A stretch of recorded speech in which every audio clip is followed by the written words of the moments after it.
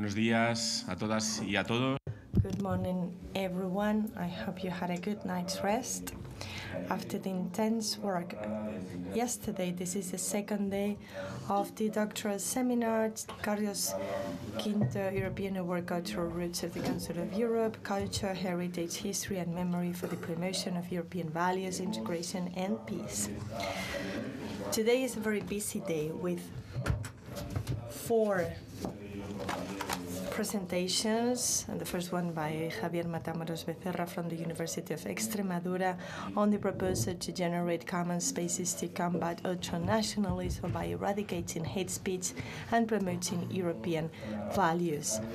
And the uh, presenter will be Ana Milošević. Um, and I like her website because he, she's known in the academic community as a monument hunter. She did that yesterday in Jarandilla too, from a nuclear blast zone to black magic rites sites. She visits unusual and often macabre places to study how individuals and societies mourn and commemorate.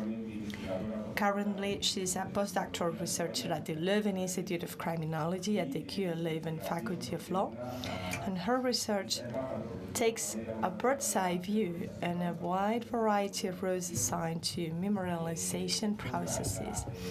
It zooms on the post terrorist memorialization in Europe in order to critically examine its effectiveness for the victims, their families, and the survivors.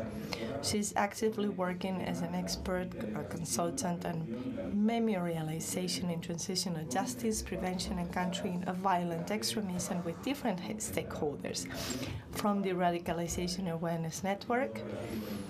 So you are closely linked to the paper that is going to be presented right after in the EU Commission and think tanks, victims organizations, and local and national governments.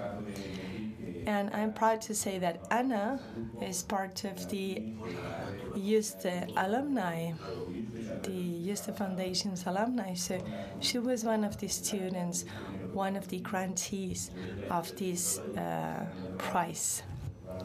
A few years ago, and as our director said yesterday, we're very proud of her work and to have her here collaborating with the foundation. Thank you. Have the floor.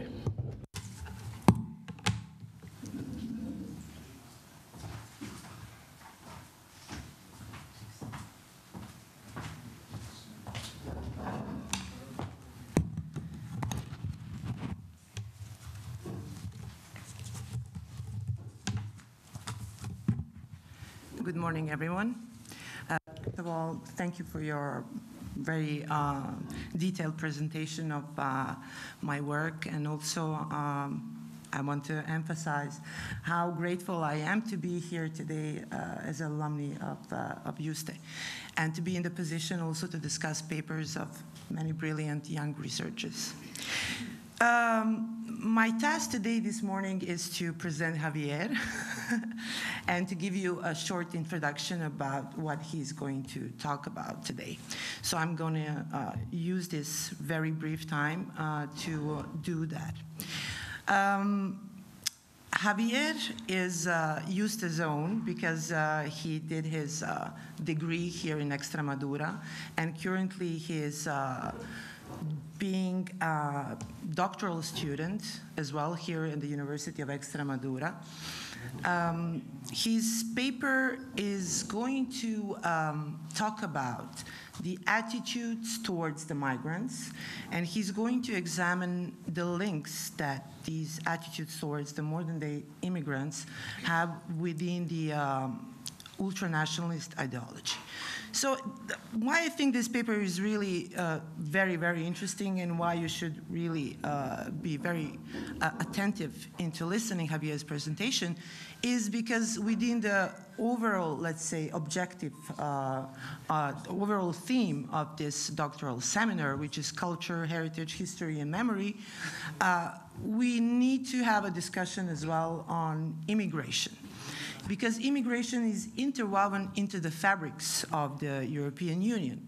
And we have to remember that before the Eurostars and before the Erasmus stars, uh, the first border movers in the European uh, community were the blue collar migrants within the creation of the European coal and steel uh, community, we had many, many migrants coming from European territory and outside European territories that were the ones that actually built the European Union. So without further ado, uh, Javier, come and uh, let us hear uh, your presentation.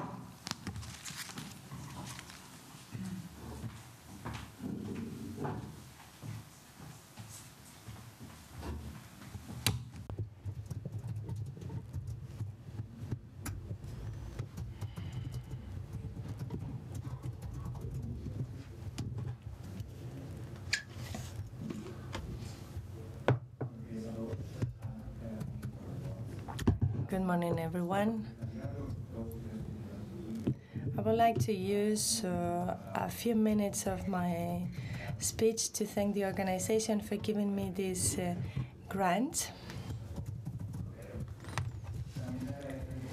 And secondly, for having organized this conference because, well, I, I knew you already because uh, this is the fourth time I'm, I'm here at Yuste, and well, this was uh, it was always delicious.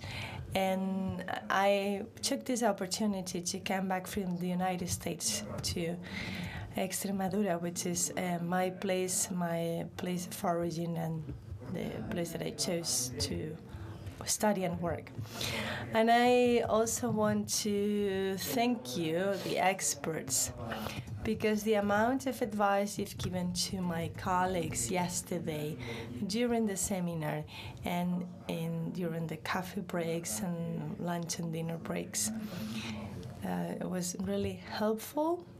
So even if the layout makes us think that we are um, opposing each other, it is not true.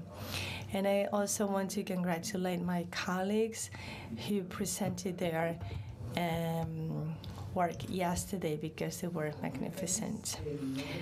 And well, now I will start my my speech. Well, you see the name of my conference, Proposal to Generate Common Spaces to Combat Ultranationalism by Eradicating Hate Speech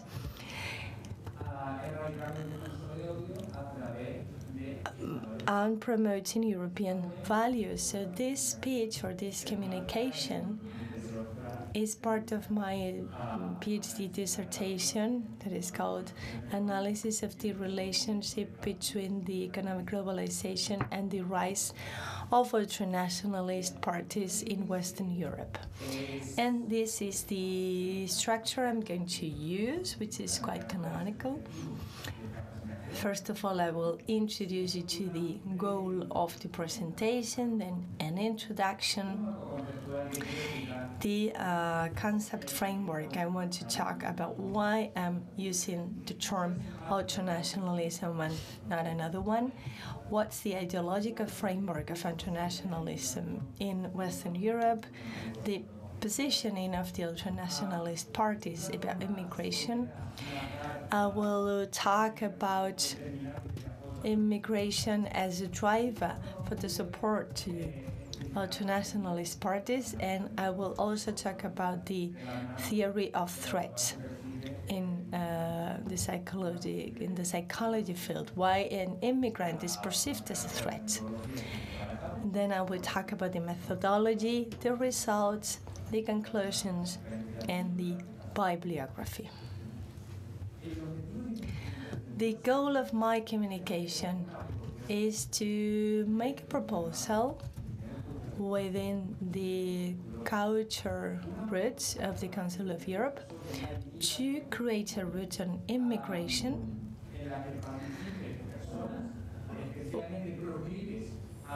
with the participation of people who are prone to channel their frustration on globalization by supporting ultranationalist parties. So we want to find the um, pockets of population that is prone to support ultranationalist parties.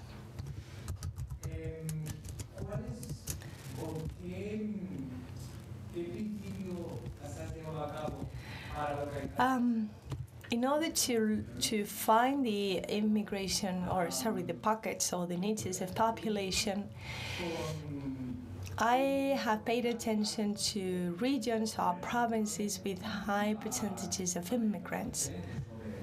Um, by uh, analyzing the background or the context, we have seen that immigration is a fundamental driver for the uh, support to ultranationalist parties. So we have used the NUTS 2 and NUTS 3 levels in southern Europe, in the Mediterranean Europe, Spain, Greece, Italy, and Portugal. I finally have focused in uh, Spain, Italy, and Greece, not Portugal, and I will explain later why.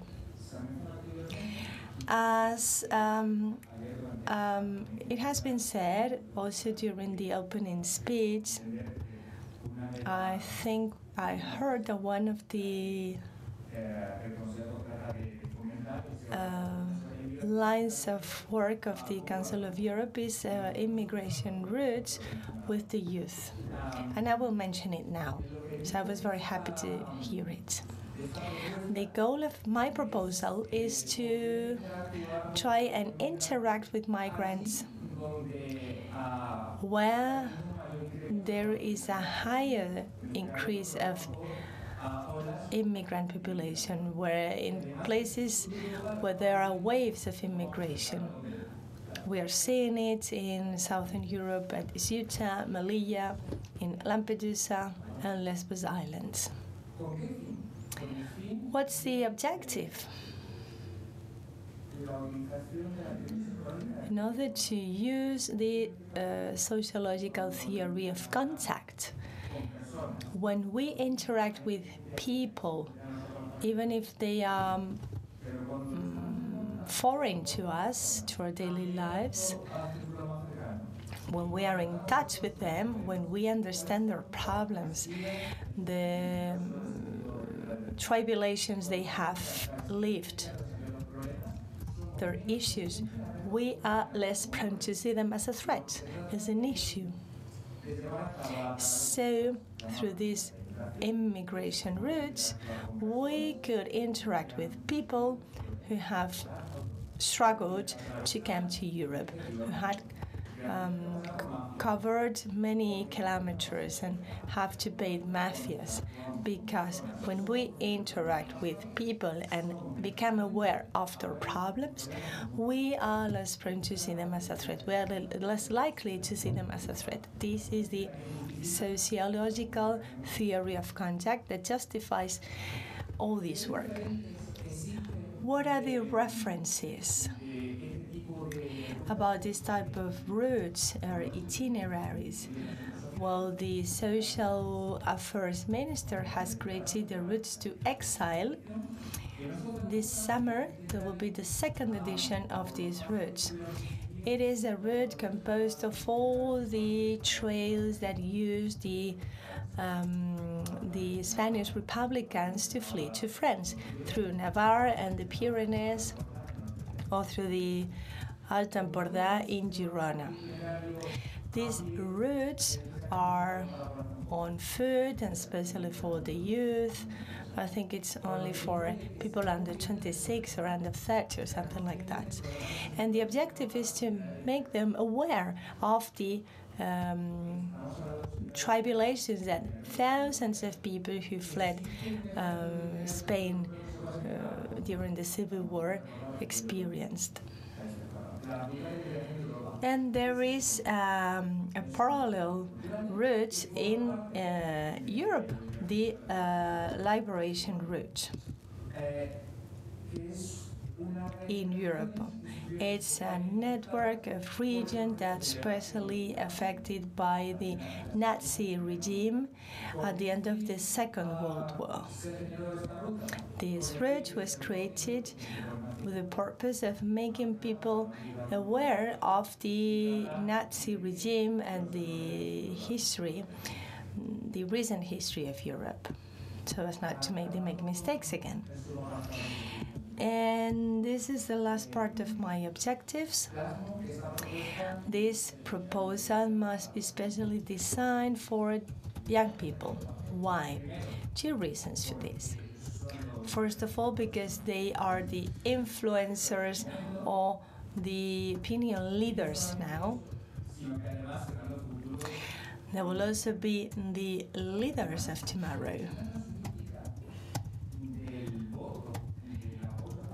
And for another reason, you know that in elections, votes to ultra nationalist parties has the shape of a U, of an U. Normally, they're voted for by uh, old, the elderly, and the youth. So that's why an U. That's why this is specially designed for the youth because they are influencers, they will be leaders, and because they're especially uh, likely to vote for ultranationalist parties together with the elderly. As you can see in the work of these two experts, Arzheimer and Lubbers. I just want to mention, to briefly mention two short things between 2011 and 2019, there's been a rise in ultranationalist parties in Europe, even in southern Italy, in southern in southern Europe, but for Italy. For example, nobody thought that Spain was going to vote for an ultranationalist party, or for example, Greece. And there were um, election two weeks ago in Spain, and ultranationalist parties participate now in coalitions, and they set their own agenda, and they influence the national agendas. So I'm going to summarize the situation of all the ultranationalist parties in Southern Europe. These are the, this is the result of the European Parliament elections in 2019. You see the countries where there were most votes. The most votes uh, was uh, the United Kingdom and Italy. We can understand the situation of the UK because it was after the Brexit, uh, before the exit came into force, and that's why they could vote, and they voted for the Brexit the Brexit party. The second party was Italy. Uh, we have at least two ultranationalist parties there Lega and Fratelli d'Italia. And then France and uh, Austria. So today, one of the main economic powers in Europe, Italy, is governed by an, an openly ultranationalist parties. The president of the Congress, Giorgia Meloni, is the leader of Fratelli Italia, and the vice president is a member of Lega, Matteo Salvini. In France, in 2002, it came as a surprise to see Le Pen's father, the old Le Pen, to see to, to see how he got around 10% of all the votes 20 years ago. And uh, Marine Le Pen got 33, 33 34% of votes and making it to the second round. It is not uh, a surprise anymore. Even Portugal, who seemed um, immune to ultranationalism, in November 2022, Chega got 7% of the votes. Even in the Scandinavian countries such as Sweden, Denmark, Norway, who seem to be immune to ultranationalism, and even the leader, Sanna Marin, the uh, leader of Finland in April 2023, got outranked by the ultranationalist parties because she ranked third and the uh, ultranationalist party ranked second, even if Sanna Marin was a very popular leader. So today, ultranationalism is present in almost all political arenas in the European Union. I'm going to talk about the concepts. Concepts. Why I'm using this term, ultranationalism, because there are many labels, many possible labels for the type of parties. Radical parties, uh, far, um, far right parties, right wing parties, neo fascist parties, nationalist parties. I prefer to use ultranationalism because for me, radical right is only showing that it's an extreme change in the political and economic arenas, which is like saying nothing. Um, extremist party, well, it's more or less the same, but it doesn't take into account the liberal democratic system.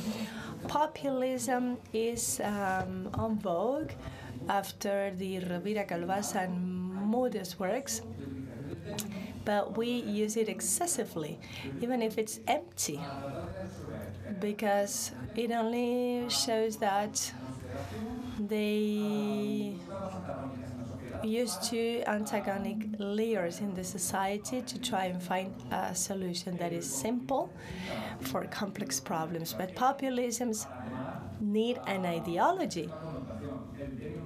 So populism per se is totally empty.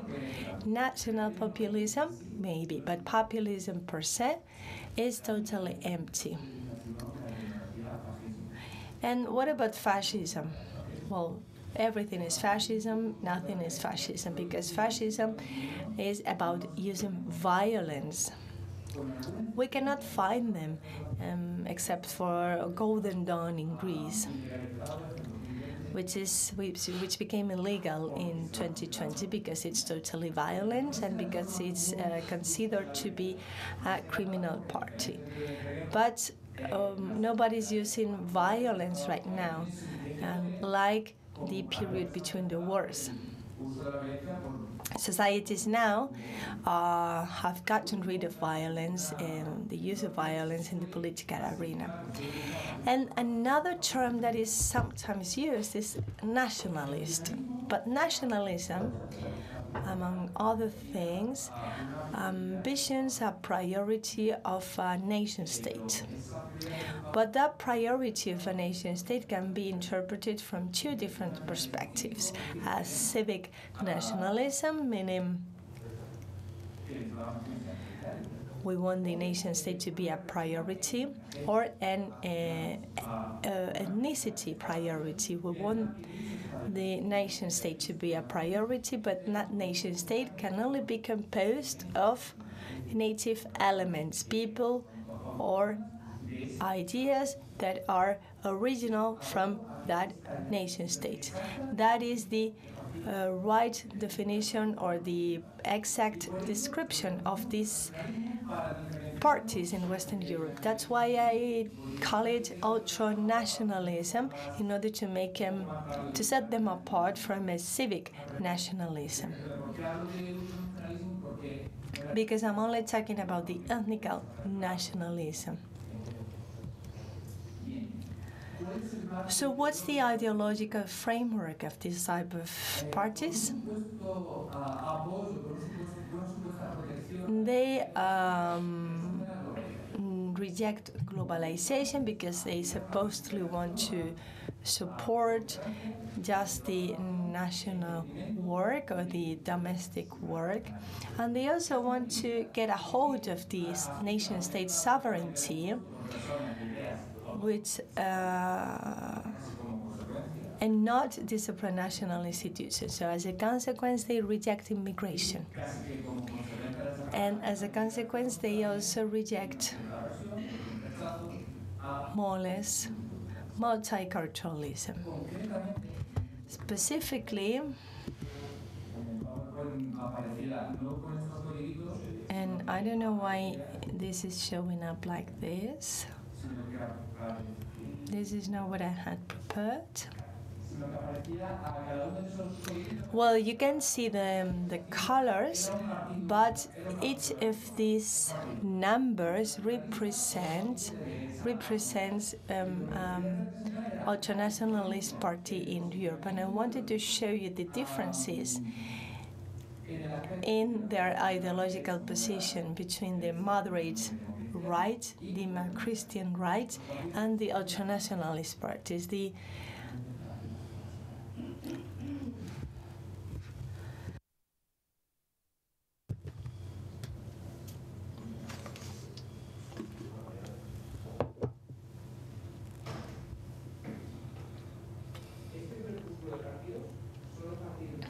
parties to the left are the Demo-Christian parties, and that's how they position themselves towards immigration and refugees in Europe. And then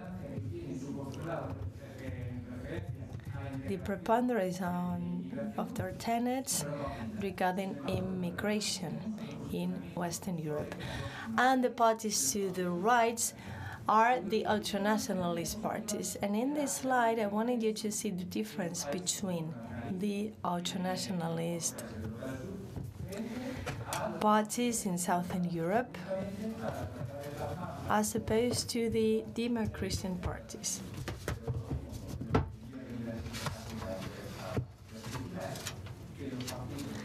The ultranationalist parties reject immigration in a more intense way. And they also insist on their electoral programs to this. They are more restrictive on the issue on immigration and they also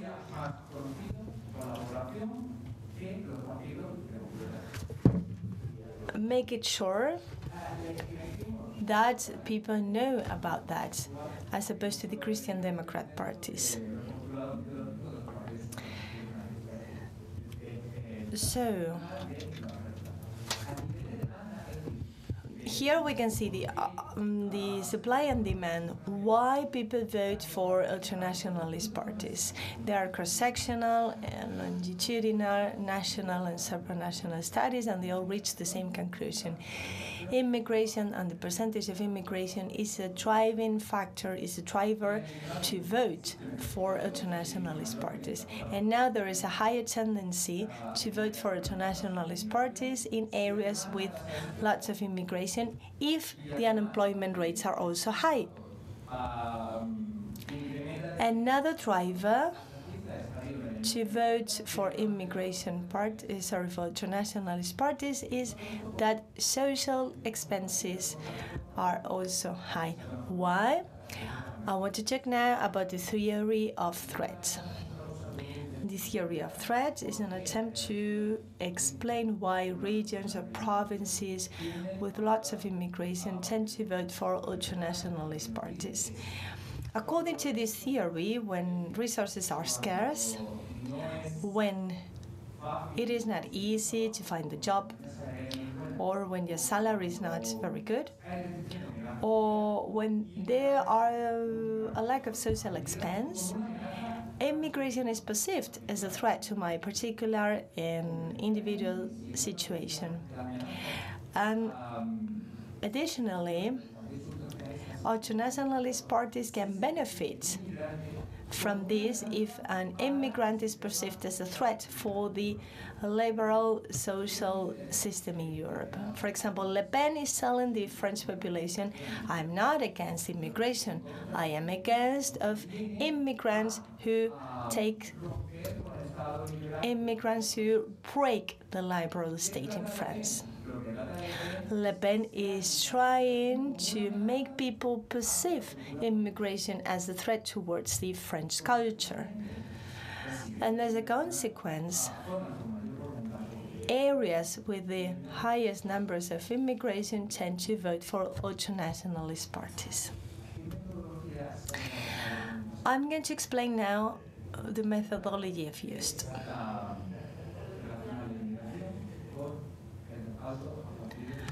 I'm trying to link in the support for ultranationalist parties to the numbers of immigrants. High numbers of immigrants and high uh, percentage of votes for ultranationalist parties. In those cases, surgical actions are proposed. In those cases, I proposed initiatives such as the immigration route. In regions with high immigration and low support for ultranationalist parties, I proposed to use preventive actions. For example, immigration routes, yes, so, so people are aware of the tribulations immigrants live.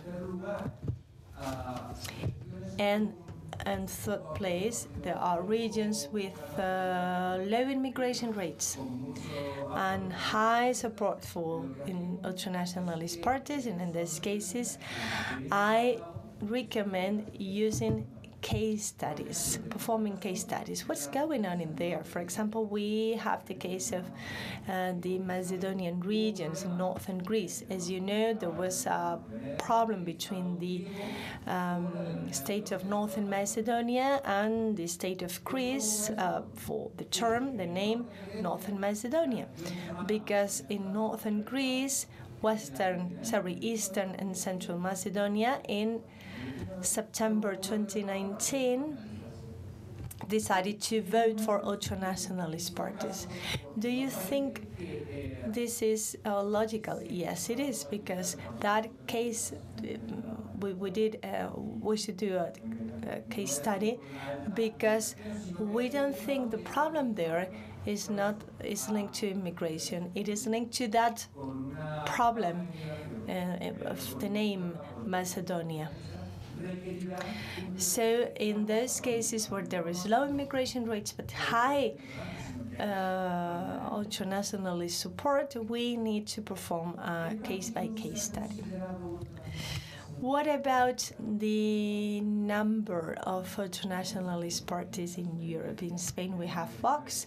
In Greece in 2019, there were two parties that got uh, representation in the European Parliament um, Golden Dawn and the Greek solution. Golden Dawn is now illegal.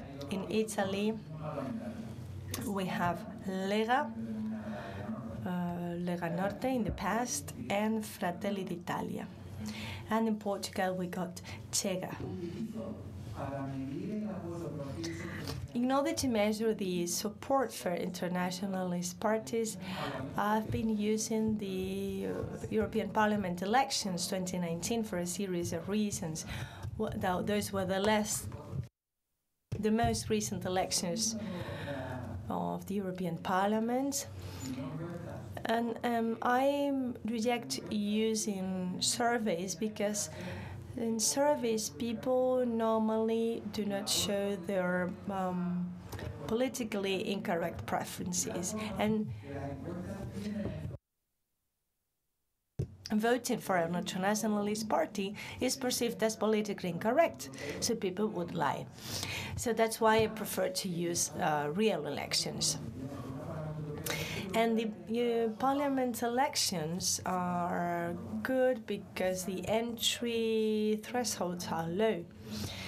In Spain, we have many constituencies, as many constituencies as provinces, but you know that the law, the D'Hondt's law uh, makes it uh, not proportional. So a vote is a person is not a vote, or a province not a vote.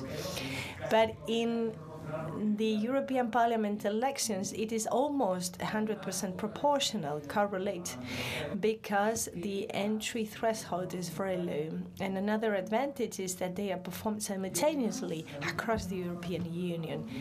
And the last elections were in 2019, so it was pre COVID.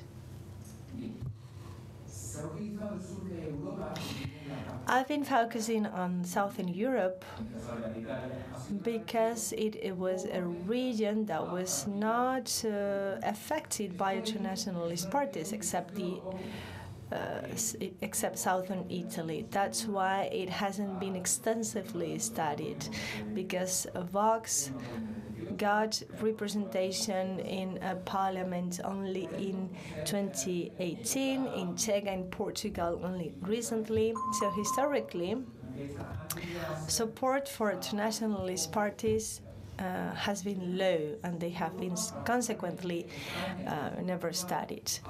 In, and also because they share common futures. For example, there were recent dictatorships. There is a whole and strong array of Christian democratic Christian democrat parties. The, the democratic systems were established um, in recent past. There wasn't a welfare state after the Second World War. They joined the European Union in the 80s. They were the main beneficiaries of the uh, European aid uh, until the big enlargement towards the Eastern Europe, and they were severely affected by the Great Recession. And what, what is the methodology I'm using to use the regional and the provincial levels? In Spain, I'm using NUTS2, 17 regions. In Greece, I should have been using a provincial level, but I wasn't able to get access to the provincial level information, so I had to use regional data. In Italy, NUTS 3 gave me enough uh, information, so I'm using NUTS 2 and NUTS 3. And in Portugal, I should have been using NUTS 3 25 uh, sets of data because 7 was too low, too little. But I had some issues with Portugal. For example, the first one being that Chega was very recent. Um, it only started to rise in January 2022. That was the first time they got representatives in the Portuguese parliament. Secondly, there is no correlation in Portugal between the constituencies with two, NUTS 2 and NUTS 3, because in Portugal we find constituencies 18 in uh, the continent, and then 2 and 2. But NUTS 2 is 7 and NUTS 3 is 25, so there is no statistical uniformity that I could use. And then the uh, percentages of immigration is only given for NUTS 2 levels, so we, the uh, disaggregation was not enough it was only um, disaggregated on the level of NUTS 2.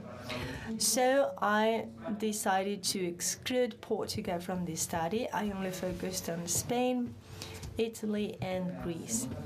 Let's see the results. You can see here three maps of Spain and the top you can see figure number two, the support for ultranationalist parties in 2019 and then you can see the uh, variation between 2019 and 2011. It is the period of the highest rise of the support to um,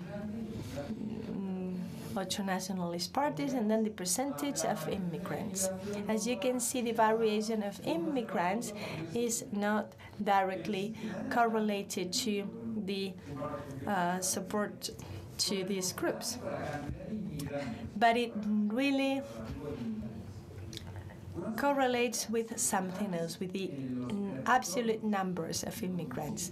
But look at the uh, territories that vote for a civic nationalism, when there is a desire, uh, more intense or less intense, to develop a, a, nation state, Catalonia and the Basque Country. In those cases, there is um, minimum support towards the ultranationalist parties. Look at Girona, Lleida, the provinces with the highest numbers of immigrants, relative numbers. But then in Catalonia, the ultranationalist party didn't get much support didn't get many votes. And um, the situation is uh, similar in the Basque Country. So this suggests that provinces with a civic ultranationalism are less prone to vote for ultranationalist parties. And as per my methodology, and with a, what would you choose, a surgical or a preventive approach?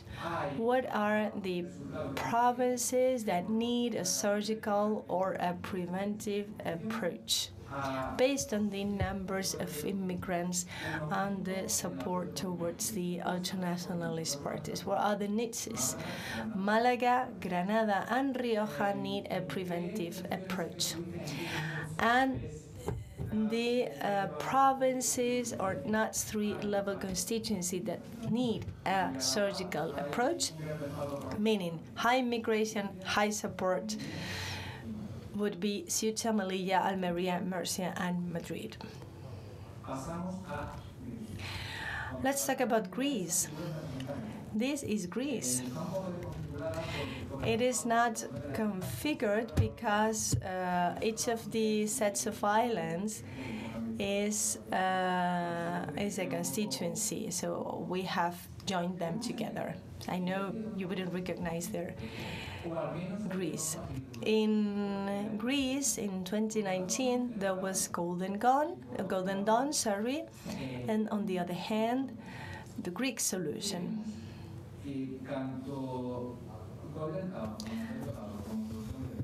Golden Dawn and Greek solution in northern Greece got most votes.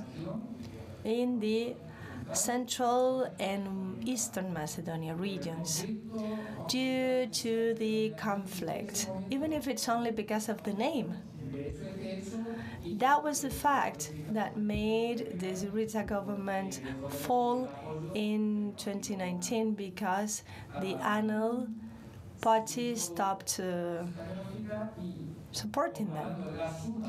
So if we compare the support to Greek Solution and Golden Dawn to the percentage of immigration in those areas, we can see that in the Macedonia regions, they are getting more votes. They got more votes than they should. So it wasn't linked to the issue of immigration. It was only linked to probably the name issue but we should perform a study case in there. That was maybe the cause for the higher support. And then look at the islands, the archipels. The ones that got waves of immigration, such as Lesbos, would need a surgical approach because they support the internationalist parties and there is a direct correlation between the two aspects. So they would benefit from a surgical approach and a preventive approach in the southern Aegean and the Ionian Islands. And then we move on to Italy. What's the situation in Italy? What's the situation like? There are two internationalist parties. On the one hand, Fratelli d'Italia, and Lega on the other hand. Lega, who, which until recently was called Lega Norte, and was mainly focused on northern Italy, the area they called uh, Padania, um, north to the Po River. They wanted to create a fictional state, but since they wanted to get more votes for all the for um, all the Italians, so they decided to change the name to just Lega. But their votes come predominantly from northern Italy, north of River Po. And then it is offset by the support given to Fratelli d'Italia in southern Italy. Meloni is um, especially um, popular in Roma, in Rome. The image is completely different from the one projected by Lega, so they complement each other because uh, their areas of influence are totally distributed among them. And if we sum the if we sum the support obtained by Lega and Fratelli d'Italia, well, let's focus on the correlation with the number of immigrants. We we see a high correlation, but look at northern Italy in the Bolzano and well, that's basically that, the Bolzano region. There's something going on in there, similar to the Catalonia and Basque country regions in Spain. They um, identify themselves with being nation states, so they channel the support towards ultranationalist parties through the creation of um, sovereign states. So they have what they call civic nationalism. And the approach that we should be using in these areas in Italy would be as follows. The surgical area that would uh, benefit northern Italy would be most beneficial in Veneto, Lombardia, Friuli Venezia, Giulia, and Piedmont. And then the preventive sur- the preventive um, approach would be most beneficial for Tuscany and Emilia Romagna, which lies southern, south to these four regions. Mm, That is. Uh, nationalist, but is not channeling the nationalism through these parties. And these are my conclusions. I can confirm there is a relationship between immigration and support for ultranationalist parties in Southern Europe, or at least in Spain, Italy, and Greece. So I have uh, launched some proposals of niches on to which um, create raising awareness raising activities about immigration and that civic nationalism tries to compensate or tends to compensate the support for ultranationalism. Thank you.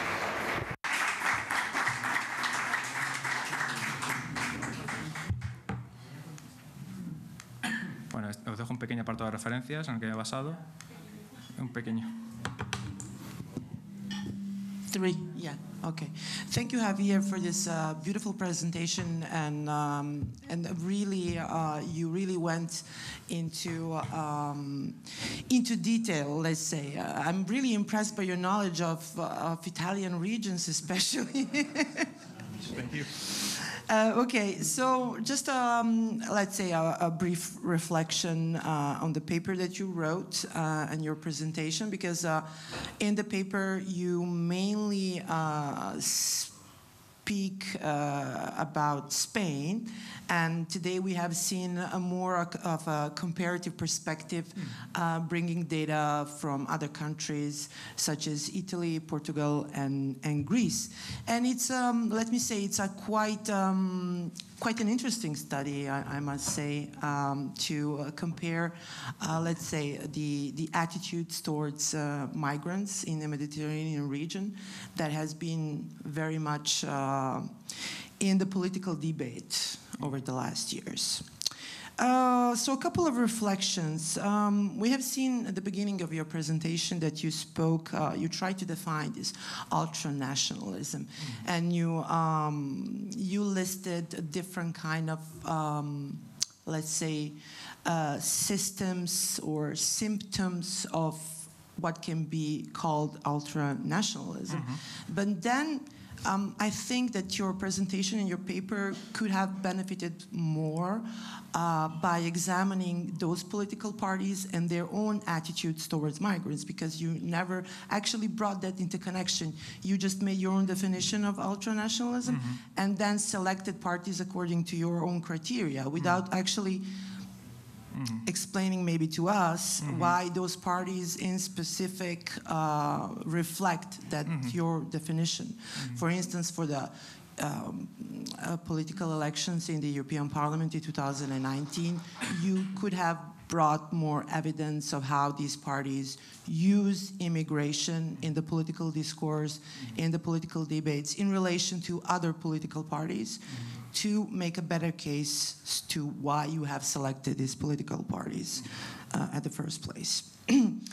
so um, I'm also I understand your decision to actually look at the elections in the European Parliament in 2019 makes perfect sense. Um, but it's also important to understand the broader dynamic of the European Parliament's elections, which are quite different than the elections in, in one's own country.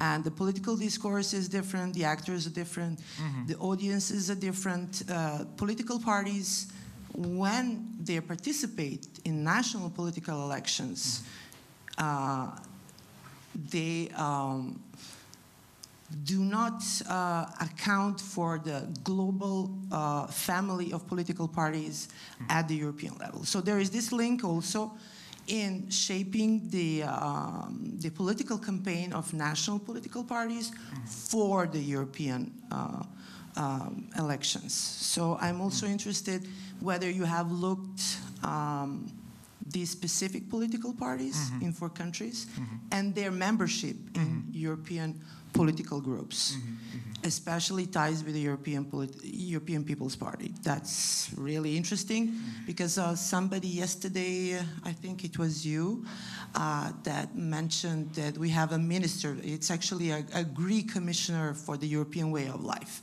or as I call it, the EPP way of life. So that's interesting because they have a really strong position on migration. They have always uh, had. Um, in terms of uh, immigration, so that's my next point. Um, you do not operationalize actually what migration means. Immigration means actually.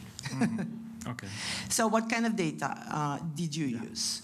I see that you uh, use the data from the Ministry of Interior for the political um, elections, that you, ha- you have used your own data from the Statistical Office of uh, uh, Spain, that you use secondary data from another researcher in the case of uh, Greece, yes? Yes? Schaffer and others, yeah. This is the percentage uh, of support for ultranationalist party, not for immigration. Okay, well, I must have, yeah, not seen that. Uh, in, in, well, in any case, uh, when you talk about immigration and the data that you use in four different countries, so also the definition of immigration and the data that you mm. use has to be same in those four countries. So the data that, for instance, you got from Spain, does it cover illegal migrants, mm. undocumented mi- migrants, people of foreign origin? So these are all the subtleties and different kind of interpretation of what migration actually means and the data that these institutes collect from certain regions. Mm. And how can you account for that? That's um, a question or a reflection. Um, and yeah, two more things uh, very fast on Greece.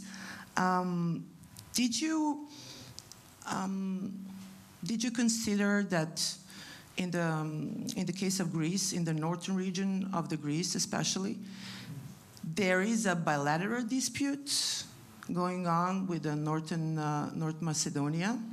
So maybe those data are not just cannot just be connected to the immigration, but to something else, to the existing bilateral disputes. And well, m- maybe at the last point, uh, the very last point, um, how important is the, uh, the entry point of clandestine migration in these four countries. So in the regions, in the cities, in the islands, there are entry points for illegal immigration. Okay. Uh, so what is the um, what is the what are your results in these specific areas? How can you account for the results in these specific areas? For instance, I have seen. Uh, I come from Calabria. it's really southern Italy, and we have illegal migrants coming every day, as you have seen also in the news. Uh, even Ursula von Leyen was uh, was in Calabria recently with Meloni, uh, with a helicopter overseeing my house. Or, and um, we have uh, seen that Meloni won a lot of uh, votes in my region, which is an entry point for clandestine uh, migration. So, Yeah. yeah, I would be interested in hearing that. Muchas gracias. Eh, Ana, maybe eh, Thank you very much. Ana. may, Posible preguntas. como son un grupo maybe you'd like to. Shall we move on to the questions, or maybe we can move to the questions uh, straight away? Can, shall we give you four minutes to respond very briefly?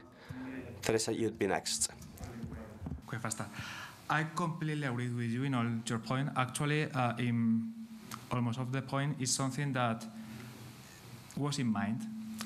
Not only was in mind, but was taken into account. But maybe, maybe not for sure, it wasn't described in the paper and in the presentation because of a matter of time. I mean, but all the information, almost all the information that you have asked now, uh, is design. Is design and there is a background in order to to support what I said, uh, why uh, I have selected some political party. For example, I have selected this political party because they are in the same uh, political family in the European Parliament, because previous author used these political parties as an example of ultranationalist parties, but I completely agree in that point. Um, I also agree with you, with you, and it's something that I didn't take into account that the election to the European Parliament is like a secondary election, less important than general, than national election, that local election. That maybe at this point it's useful at least to say or at least to note there is some particular issues in the case of uh, European election different from general election. Uh, for example, the main thing is that uh, there are more people that vote in general election than, in, for the European Parliament. That can be something to note. Um, I also agree with you that uh, I only said immigration and I didn't explain what I want to say with immigration. It's percentage of, of immigration, but for sure I should explain more about what I'm saying, what I'm referring to in immigration something to take into account for the, for the paper, for the definitive paper. Um, I tried to explain that in the case of the north of Greece, uh, it can be a case study because for sure, or at least it seems that uh, in this election, uh, this region voted for uh, ultranationalist party at least more than other parties in Greece because the conflict with Northern Macedonia.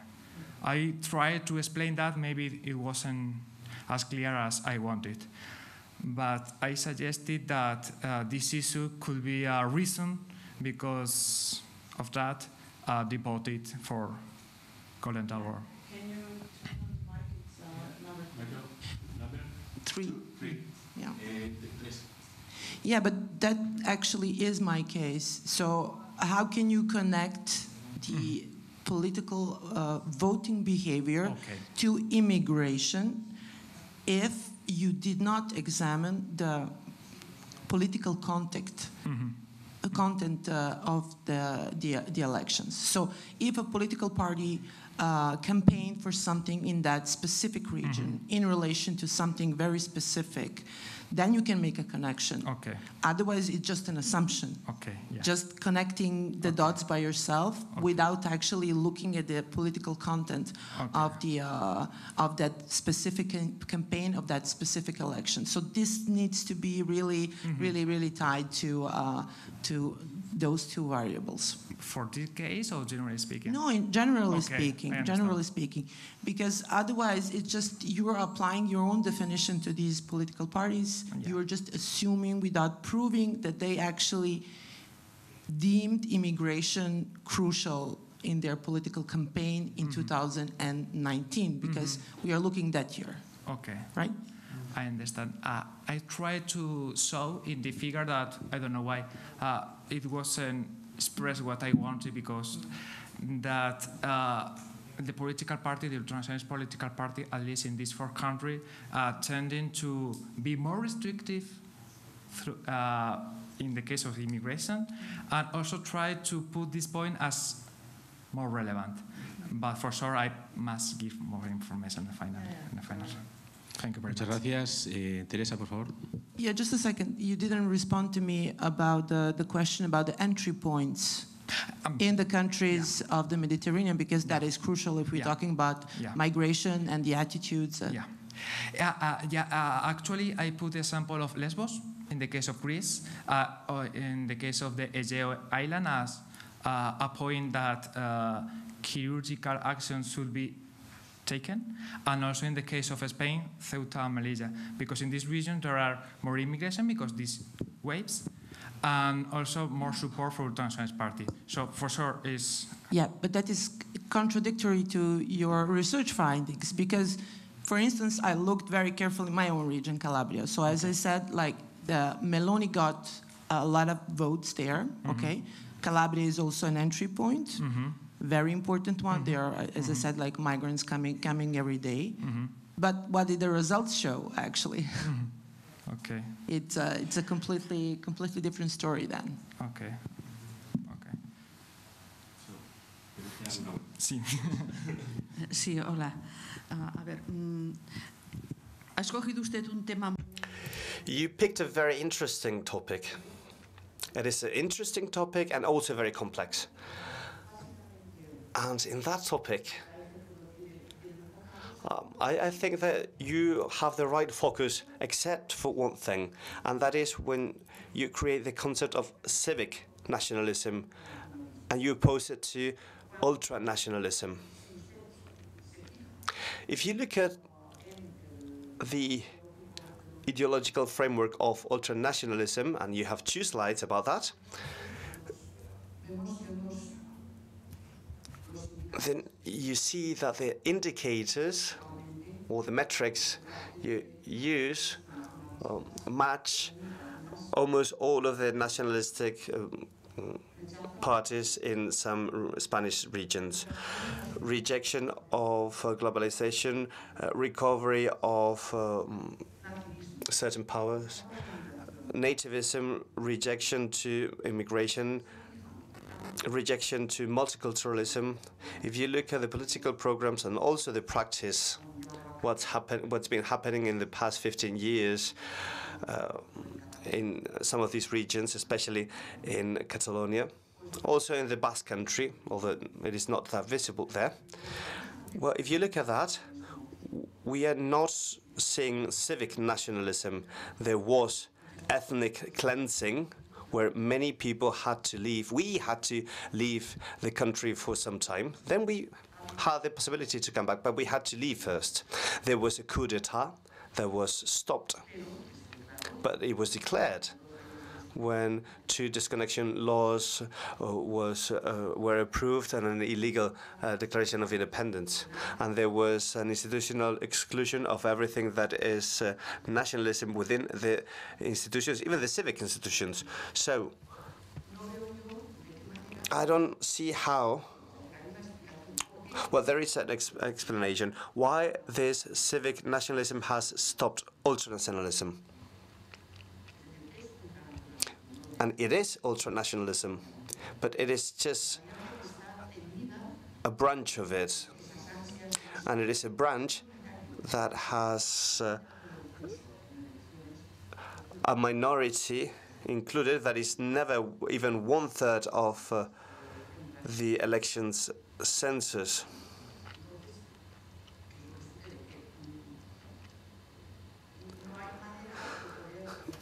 So there is not a way to consider that what we are facing is what you call civic nationalism. You might call it differently, and I might agree to that if you call it differently, but not that's for sure not civic nationalism.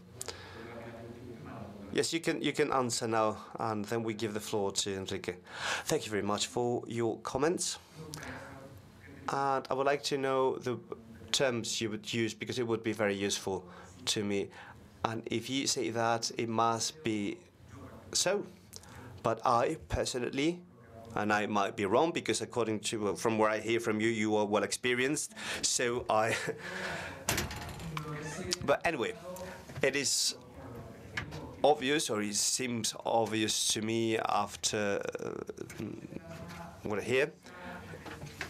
It is from what I get. It is. It won't show that distinction between uh, ethnic and civic nationalism, and especially that importance in the elections message. If you have other references, I would appreciate to know what they are to complete my study. And especially, I would like to know about your experience, both academic experience and also life experience. I would I really appreciate that. Thank you very much. Thank you very much. And uh, first of all, let me start by congratulating you for uh, this uh, presentation both your the, the, presentation itself and also the paper and also the research behind. And according to the rationale of this uh, seminar, we're going to give you some comments and reflections that's going to be helpful for you and your colleagues as well. And like my uh, colleague Teresa, I would recommend you and anyone else to think of the words by following uh, rationale, a traditional Aristotelian rationale. You claim that uh, ultranationalism is a core concept in your research. Well, strictly, strictly speaking, in terms of logic and uh, language, it is an empty concept because it is uh, two elements with a name and a description. You have an, a substantive, a noun, and an adjective. Ultra is the Latin version of meta, and it means that it goes beyond something. And the noun nationalism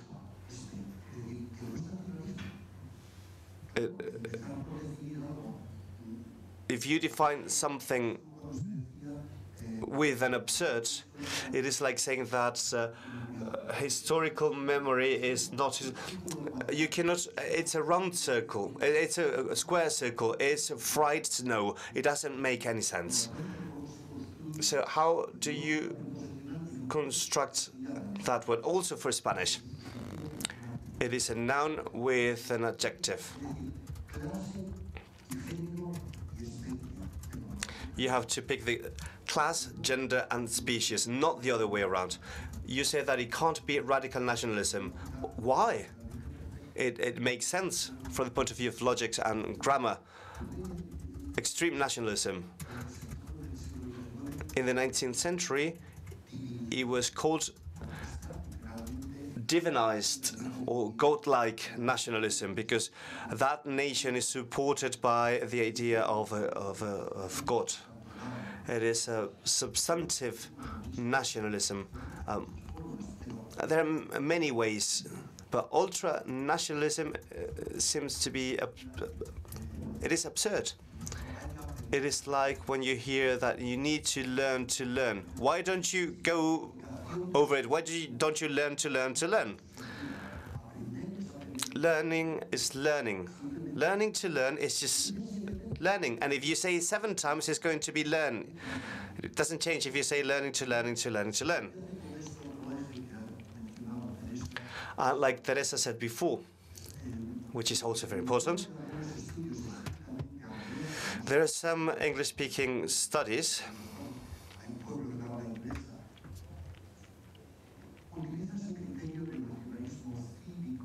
you use the criteria of civic nationalism versus ethnic nationalism.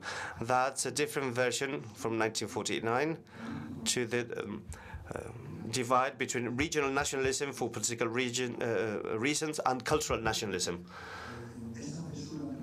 I think that divide is quite complex because political nationalism due to political cultures create their own culture and cultural nationalism has uh, political subjects behind. But beyond that even if we assume that there is not a clear divide your application sometimes have uh, too many pre-assumptions that are not very uh, clear. The example is the distortion in Lerida and the Basque Country. Substantivized nationalists, ethnic, uh, radicalized, and uh, is uh, that's clear in the Basque Country and in Catalonia. Uh, Teresa can tell you what some of us know, which is huge. So, to what extent that criteria only applies to Vox in Spain? You have to look into your uh, definitions, and then you might see things you don't want to see, but they are there. Thanks, Enrique. I've seen many hands up. We still have 17 minutes. We'll, let's try and give everyone the opportunity to speak from both sides, from the researchers and the experts. Thank you very much for your presentation. I've enjoyed this uh, very much because I also work with uh, this type of political actors. My question is related to the terms you use for them. You have a slide where you explain why ultranationalism and then you rule out others such as uh, radicalism, populism, fascism, on nationalism, on, on extremism and fascism, we can rule it out, no doubt, I believe. But the the parties you analyze is uh, extreme right. Uh, extremist country, and all of them except for uh, Golden Dawn, they are all right-wing uh, populist countries. So I don't know to what extent that ultranationalism is uh, needed when there is already a defined term. You mentioned Cas Mudde and Cristobal Rovira Kaltwasser, and they themselves use this uh, concept of extreme right populist country. They do not say that populism doesn't mean anything. That's uh, like Laclau's strategy, saying that populism it is not does not mean anything claiming that uh, uh, populism has some basic ideas of the people against the elites, and that's uh, uh that's uh, glued or linked to an, a larger ideology. And here you're mentioning uh, parties that are right wing parties, but they are also populists. This goes beyond the traditional um, divide left right maybe you might use different terms. Regarding also ultranationalism, I think that that divide between nationalism, uh, ethnic and civic uh, nationalism does not apply. I, maybe independent independentist nationalism would be more appropriate because the three element you, elements you mentioned, Catalonia, Basque Country, and Trentino Alto Adige, do have very strong uh, uh, nationalist movements. It's not that they're not nationalist. Uh, and finally, very briefly, you speak about the contact theory and the psychological theory of threats. I would like to ask you about your opinion of the great replacement theory, which is very much related to immigration for this uh, type of uh, parties. I'm not saying uh, this is true. I'm saying that they claim uh, it is true, and uh, it takes a very important position for these parties. Thank you very much. Would you like to answer to this question, especially the last one, the one on the, your opinion, or?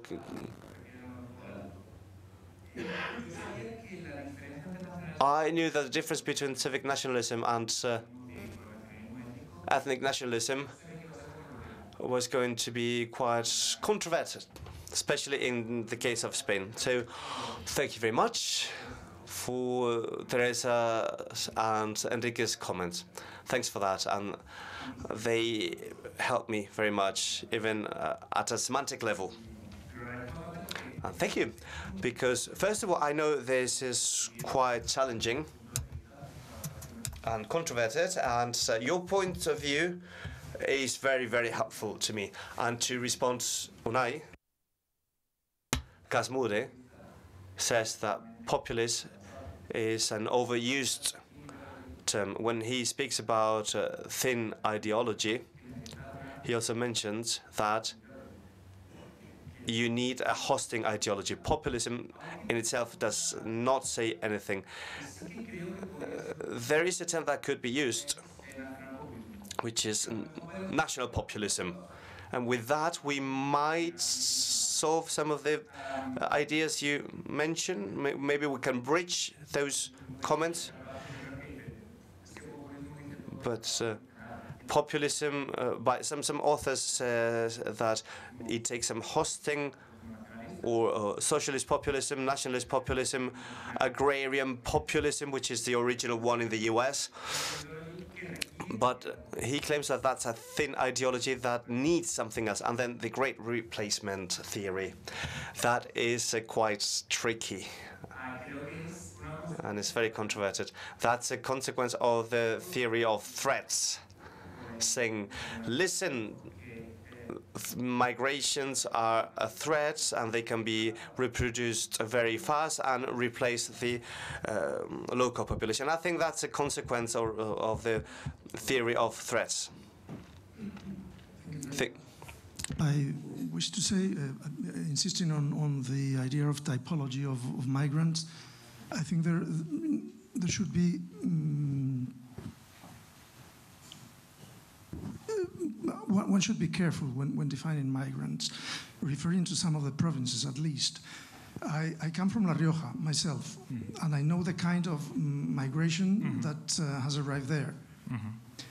If I compare it with the, and I'm talking only of those preventive provinces, uh, preventive pol- policy uh, uh, provinces. If I compare that with Malaga, I know that in Malaga, many of the foreigners are not the same type of migrants of La Rioja or of Lerida, for that matter, who are working people mainly uh, or, or, or enormously in agriculture and, and also in, in, in other functions, but not, uh, they are not tourist residents as, as we can find in Malaga or in Granada. In the thousands. I mean, the number of, of foreigners in Spain, one of the top groups is Britons, people from, from Great Britain. They are not perceived as a threat or as anything like that. Yeah. The idea of, of these parties, by the way, uh, and I think this, uh, this should be stressed, is absolutely unbelievable precisely in the Mediterranean basin, which has been historically a crossroads of civilizations and cultures. We've had Muslims governing, ruling uh, this territory of the Spanish peninsula for um, eight, eight, eight centuries. And the, the lack of education, which is a, a- an important issue uh, when, when thinking of, of this kind of uh, perception of the foreigner, uh, results of the, of, of the lack of awareness that we are a, a palimpsest mm-hmm. of layers of civilizations, mm-hmm. and we're all hybrid. I mean, I'm, I'm making the case because when you spoke about the, the theory of threat, I, I take the theory of threat in reverse. Mm-hmm. I, I, I feel a threat when I see Vox around myself, or, or, this, or, or, or these other, other uh, you know, parties. But in that typology, as I was saying before, you should perhaps make uh, the difference and, and, and find out. I mean, in, in, a, in, in a small city like Logroño, there are about 4,000 Pakistanis. How come? I mean, you know, it's, it's unbelievable that they have arrived there. and the number of, in, in the first waves of Moroccans that arrived there, they're mostly um, assimilated people right now. That is another important point to, to be made. It is not the same the type of migration before the, uh, the um, uh, technological revolution and the, the communications uh, revolution than, than now. I can tell you the first thing the Moroccan girls did when they arrived in my village, in particular, in La Rioja, was to take the, the, the veil off and forget about it. Now they are seen by their grandmothers through the media from Morocco, and they have to keep it because, uh, you know, uh, we are being criticized if we don't wear it, and so on and so forth. I mean, they're more attached to the, their region like that. I mean, you can live actually these days as a migrant in your own country through television networks, etc., etc. Then the other idea, I see these parties as, as a clear contradiction of, uh, in terms of the success or failure of globalization. Globalization is a failure. Is a failure for them because that uh, they, they I mean they, they, they want to, to mm, keep uh, self-contained in their own shell etc etc but the truth is that they have no qualms whatsoever to take their money to safe havens they have no qualms to use Google, Amazon, Facebook, mm, Apple, Microsoft. They're very much globalized, only for their own interests. that's, that's the truth. And even if, if uh, I mean, the, even if they mm, uh, preach that they are the pure, mm, you know, representatives of the of the nation, etc., etc., what they are is a bunch of hybrid people like everybody else since Neanderthal. And, uh, I mean, and there's no, no way to discuss this uh, uh, with, with, with science these days. And they will mm, surrender to the oligopoly of, of, the, of the big GAFA, GAFAM uh, companies uh, with, with no problem whatsoever. So this, these are points that I wanted to, to make because, and the role of media as well, even the social media, because they convey the information worldwide and, or, or, or nation, nationwide in this case, uh, making, as Goebbels did, a lie after being repeated 1,000 times becomes a truth. And, uh, and, and it's not true. What, what they're saying is not true. So that, that, that's perhaps a little ingredient you may add to, to, your, to your points. Thanks. Muchas gracias, Jesús. Eh, paso a... Thank you very much, Jesus. I now give the floor to Camilo, number four. Javier, two things. First one. Uh, first one is a comment, a comment, and the second one is a little help.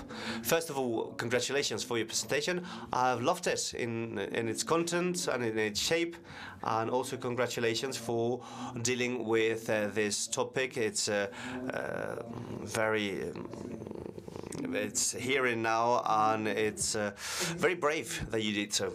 My comment is that, well, I see that political parties play different roles.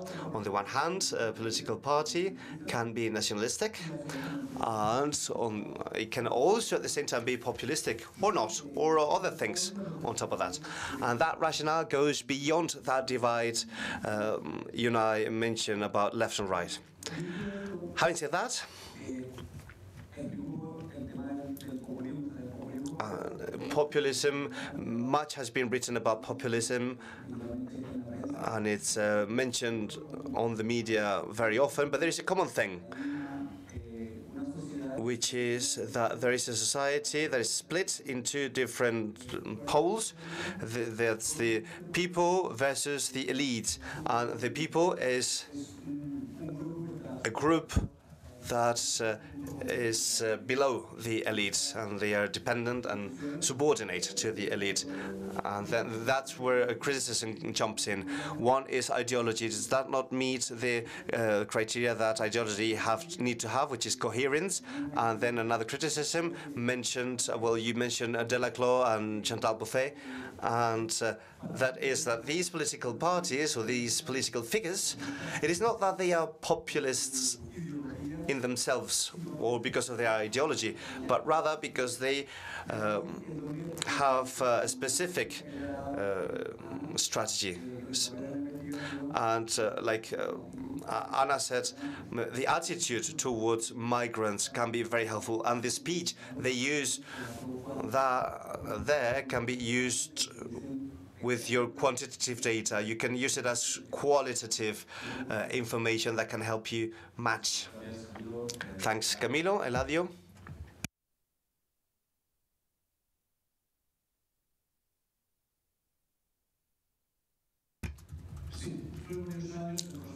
I've been in the Council of Europe working uh, on migrants in the Intercultural Cities program.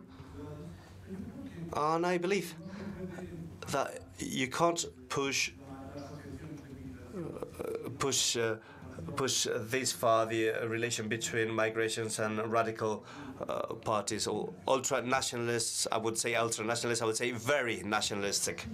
Two examples. We used to go to Switzerland, and the most Swiss and most radical and most nationalistic countries were in La Valais, which is in a place where they had never seen a foreigner.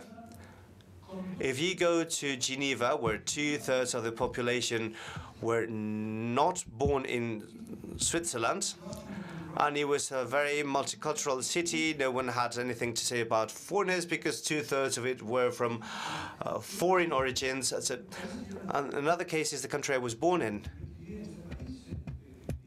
I was raised in in this in, in that this country, uh, and it was a very nationalistic country, and there were no migrants at all in the country I grew, which is this one. There were no migrants coming in. It was the other way around. It was 1.5 million uh, people from here that went to Switzerland, Germany, and other countries.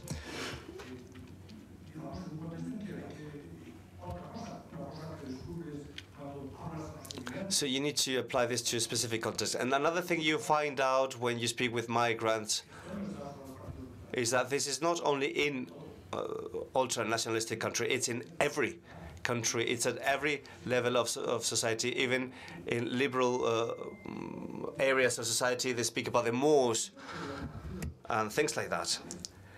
It is true that it is used by the most radical parties, but every society has some parts, a percentage of skinheads and tifosi and uh, football radical groups. If you say that in the Basque Country there is a civic nationalism, uh, it is very uh, much the opposite. Those ultra people living in the Basque Country, it's not that they were beating uh, black people, it's that they actually killed everyone against their ideology 20 years ago. and uh, compared to that, Vo Vox are extreme, uh, are older people. So apart from what Teresa said, I know many people who had to flee the Basque Country because of the threats.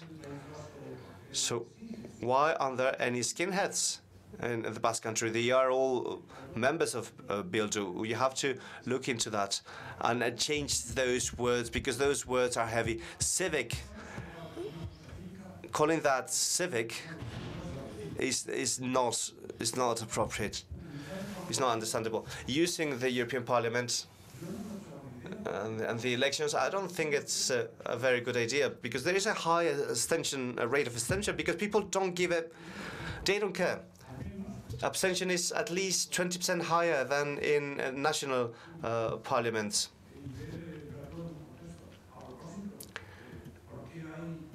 To you have to put it into context. What, what's the divide in Italy between the north and the south? Because uh, pe people in, this, in southern Italy are discriminated in the north. They feel they are discriminated in the north of their own country. So there, there were there are a few things. And I will finish with a quotation by Samuel Johnson saying that patriotism is the last refuge of the villains.